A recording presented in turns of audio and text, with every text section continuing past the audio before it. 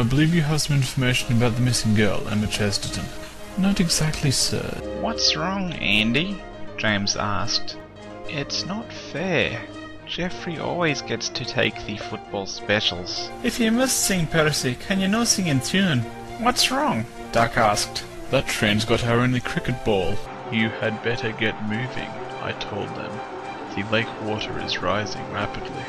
That rude, grumpy red engine. Duck sighed. What did James do this time?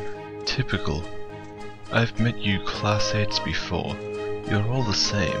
Rough, rude boxes on wheels. Passengers? But I've never pulled them before.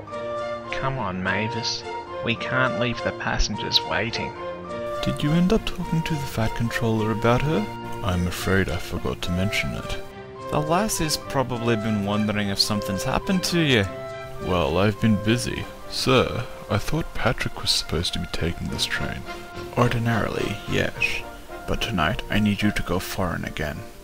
Percy, you should be careful. These trucks are the worst of the bad lot. Don't worry, Diesel. I know how to handle trucks. Sir Topham Hatt has no plans to dieselize. If we can escape there, we should be safe. Then let's go. Before long, a diesel came. He buffed up to me roughly and hauled me away to the scrapyard.